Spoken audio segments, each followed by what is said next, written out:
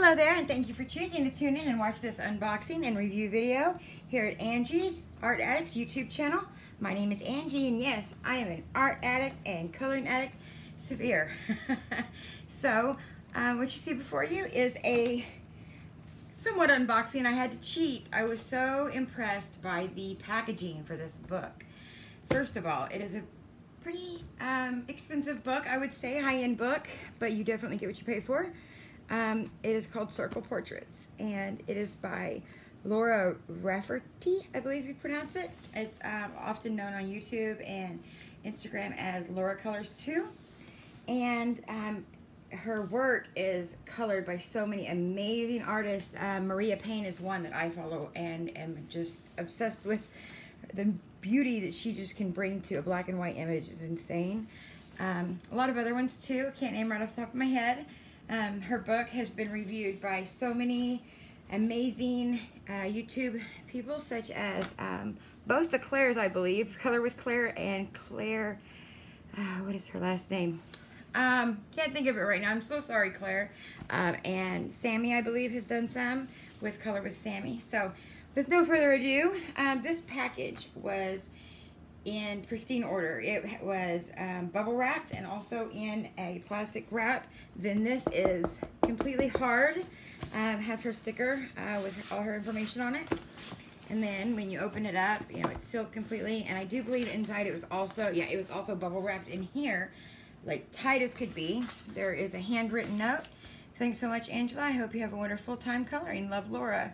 Um, I do believe all of these are, um, you know, in every box um, specifically for each person. She mails these out herself. I do believe, if I'm incorrect, she sure does a good job, you know, making it seem that way.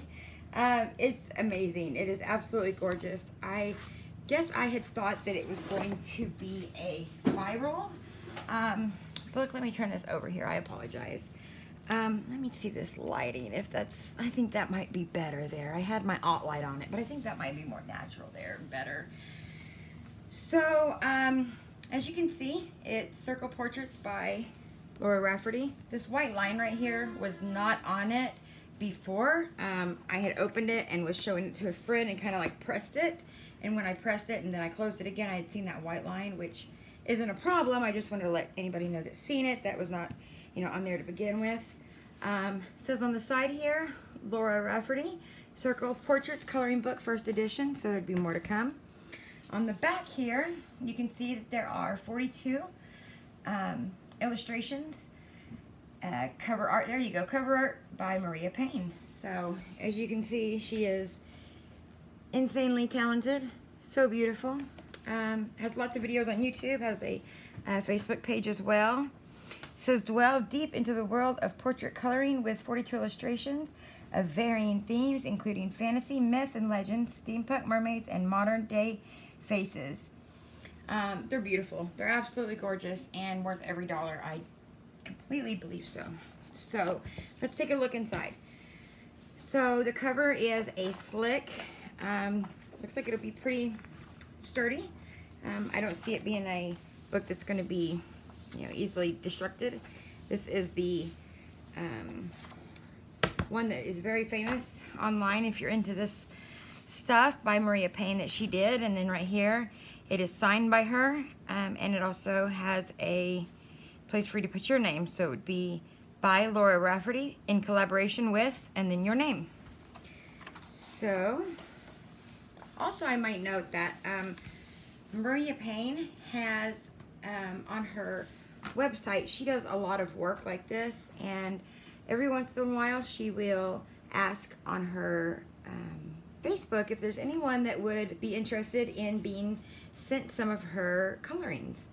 And she, you know, gets the first people's names who, you know, volunteer, and as long as you pay for the shipping, she mails them to you and I can't tell you when she does it or who she does it, you know, or what time of the year she does it or whatever, but I do know that it's legit and she really does send you the stuff. So she would like, you know, take one of the colorings out of her coloring book and mail it to you via, you know, probably USPS and um, then you pay the shipping and you have a beautiful piece of art to you know, do with what you will. I had told her that if or when I get one, I definitely will be putting it on my wall. So, anyways, a um, little bit about her, you know, making amazing things out of these beautiful portraits. So, here's the cover right here. And here's the image. And I'm going to try to, I think I'm going to go somewhat through all these. Here's a little girl with some beautiful braids in her hair and cute little glasses. Around there flowers. We have lots of animals in this book. Here's a snail with a snail, a snail girl, I guess, with a turtle or tortoise. Here's a girl with um, antlers and beautiful hair with kind of like a uh, wooden wreath around her. She's a beautiful butterfly unicorn girl, or with elf ears. I'm not sure what she is. She's gorgeous. Uh, let's see here. We have a, maybe like a, a Colombian or African American uh, girl. Beautiful, would be beautiful with light brown skin or dark brown, either one. Um, beautiful curly hair. And I think those are butterfly wings. If you hear some howling in the background, it's my screen door. When the wind blows really hard, it makes a horrible noise. Here's some wings and some jewels. Oh, this is a wedding ring. I've seen this one done and it was gorgeous. That's what it is. Or maybe not a wedding ring, but a ring. It was really beautiful done. Um, here's another guy with awesome curly hair. Lots of different colors you could put in there. And he's got a elephant fairy, maybe? She's an awesome imagination. Awesome imagination. And a palm flower. And maybe like some sort of islander or something. It's a steampunk girl with beautiful eyes. You could do so many things with that. A little girl with the, uh, like, um, airplane, not airplane, uh, pilots, like, uh, glasses. I don't know what I'm trying to say. uh, let's see here. Uh, she looks like Pink. Does that not look like the artist Pink in a fairy version? I think so, completely, with the hairdo and all. So anyways, there is Pink maybe with a dragon. Um, let's see here. We have another little boy. Kind of matches the little girl over here. Let's see. With the, uh, I cannot think. Aviator. Aviator goggles. That's what they are. Aviator goggles. You can see back and forth with a cat in that one. Oh, man. You can hear the howling in my house. Could you imagine hearing that? At night, my four-year-old son is so brave. He never gets up and says he's scared or anything.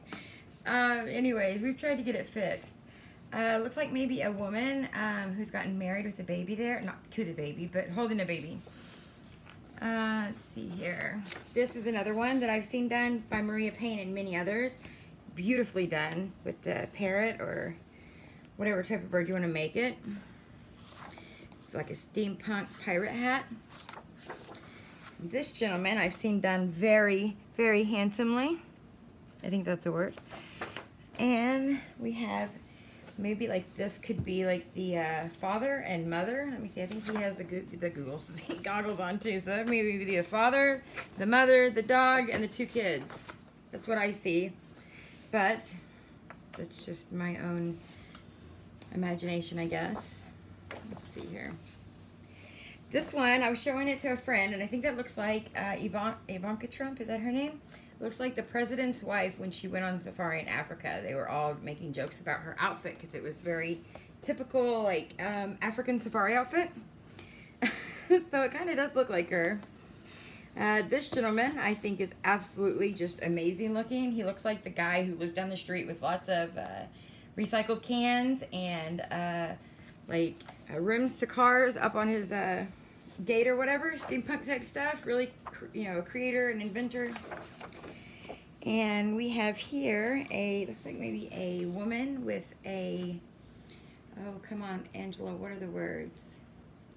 Like a helmet for, um, you know, going into war. And she has a, a hawk by her, bird of prey. And here's the other picture that is very famous, I think so. And let's see here. We have a hummingbird, beautiful woman, beautiful eyes. I love the eyes. With a hummingbird in her Oh, what is that flower? It isn't a hibiscus. It might be. I don't know. I can't think. And just a really average modern day face. I guess any face is not modern. You know what I'm trying to say. Nothing fancy about this one, I guess you could say. Just a pretty average face. Pretty girl. So here we have a warrior, some type. A guy. Very well done. Very, very perfect in the face. I love that.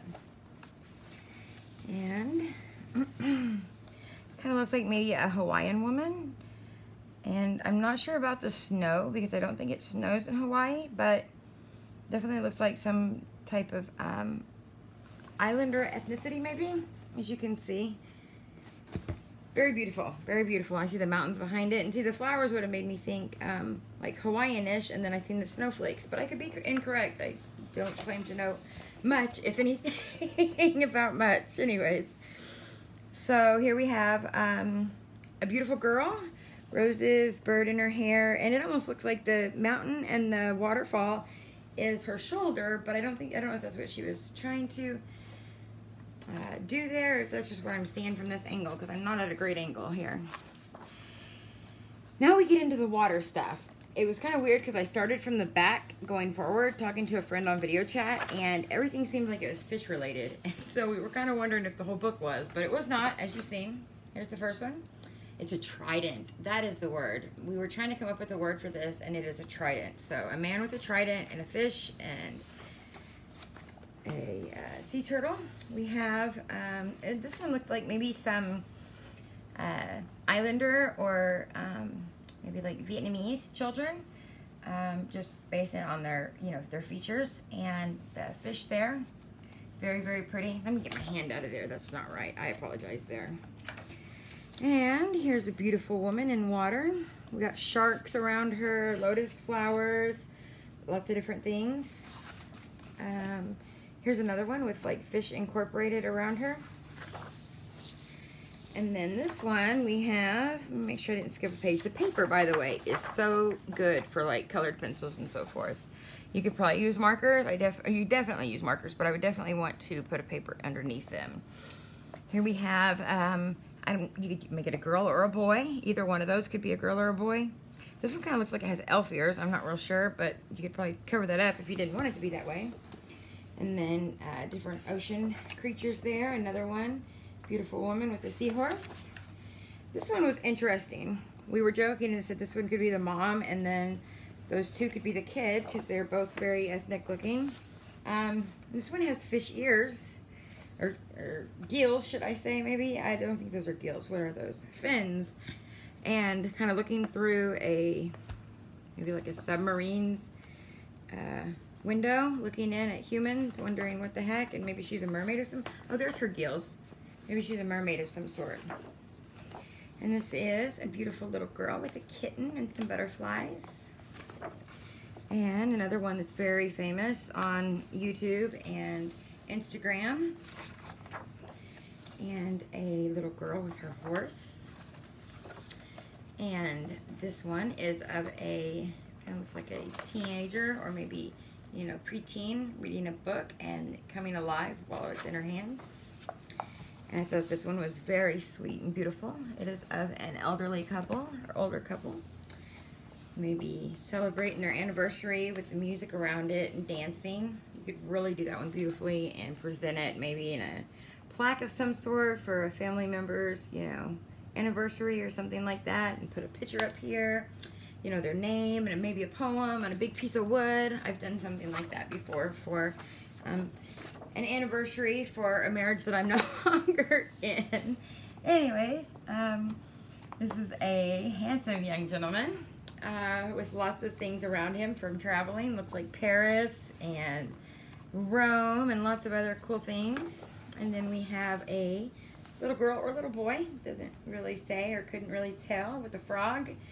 I know my little girl was all into all of this stuff, so it could be definitely be either. And then I think the last picture is a self-portrait. I do believe, I could be totally wrong, but I do believe it is, of Laura, beautiful young girl, and all the things that she uses, her gel pens, her pencils, and all the things from her imagination. I hope I'm right. and the paper is not um, perforated. It is not perforated. It looks like it might be, but it's definitely not. It looks like it's sewed in, so that's good. Then this was very interesting. I really fell in love with the book when I seen this. This is, um, you hear my howling door? I'm so sorry. Face elements, bits of portraits, for practice and shading. So you have the eyes, the nose, the mouth, the ears, and the hair. Now look, I'm gonna bring this up close here. Is that not just absolutely amazing? So you get to practice on things before you actually put it in the paper because these pages are just so beautiful you don't want to mess them up. But this gives you an opportunity to play with it and practice them. And then on the last page, you actually have an entire page full of practice portraits. Um, so I would say that these are probably maybe two inches diameter of, uh, let's see here, 16 portraits for you to be able to practice skin tones. It says skin tone sketches, mini circle portraits for color experimentation. And then in the back page, um, you know, has a little bit there for you. And I've already showed you that farther back page. And I did want to say though, and I hope this isn't against the, you know, not rules, but the way people do things, but uh, me and my friend did notice um, a lot of similarities, so much that it made us question whether they're the same artists. Both amazingly talented, beautiful people. I can't even brag enough, but their artwork is so similar. And if I'm not incorrect, one is in, I know I'm going to mess this up totally on both. I believe she is in either Russia, Czechoslovakia, somewhere around that area. I do believe could be totally wrong. Russia, somewhere around there. Um, I do believe she's in Canada. Um, totally could be wrong there too. but I think that's somewhere correct. So obviously they're not the same people. Um, but it is insane how similar their portraits are. And the circle, I don't know if, if, you know, how that came about, but are they not just so similar? Let me drag that down some. Probably best do it this way. There we go. So it's it's amazing. It really is. And both of them are high quality paper, high quality books, beautiful artistry, you know, beautiful paper, everything. But and the eyes, the eyes are so gorgeous. Excuse me. I would say that the Mysteria is a little bit bigger, the paper. And it's an off-white, where this one is a pure white. Um, let me think of anything else that I could say about them and I don't want to, you know, compare them because I don't know if that's a good or bad thing to do in this community, but they're so similar and beautiful and just just beautiful sketches. Anyways, I will say that I bought this uh, Mysteria off of Etsy and I did purchase it as a uh, damaged uh, book, it was like a $35, $40 book. Plus shipping was going to make it like almost a $50 book, and I just could not pay that. And then I uh, found this, and it made it a $14.99 book from the seller. So this right here was damaged, and it didn't damage any of the pages, but um, I think that one was a little bit damaged, if you can see there, just a little bit. That's when I had started. Um, but I thought it was a steal and it was one I'd been looking at for a long time and just trying to keep telling myself no and I finally got it. And so I think with shipping after it being a damaged good, I think I paid about $35 for it. And when I got it, I was really upset because it just came in a manila envelope. And I live in a place where we have lock boxes, little small lock boxes, you know, in a big area. And the mailman had taken it and bent it like this and shoved it in my mailbox. And when I seen it, my heart just dropped because I just knew it was going to be damaged. And this morning, I made it to the post office because I knew this was coming. I made it to the post office before they could even put it in the vehicle. And I actually, over the weekend, had my mail stopped because I didn't want the same thing to happen to this book. I had it literally, my mail stopped for the next two weeks. Put a hold mail on it because of this book. I did not want them to take it and twist it and shove it in there. And so I went and picked it up and I was so happy when I seen this huge, you know, package and I just felt it and I was like, oh yeah, there's no way, you know, they're gonna bend this sucker and put it in there. So it was such a blessing and the book is such a blessing and, you know, their artistry is amazing. So I just wanted to do a quick, you know, review and flip through and comparison because they're both beautiful and I wouldn't recommend one over the other. If you have any questions or comments, please do so below. Um, have a blessed and wonderful, beautiful day. And this is probably twisted all around on you. I'm so sorry. Still trying to work out the kinks here. Um, I'm going to hang out with my Howland door and get to coloring. Hope you have a blessed day. Thanks again.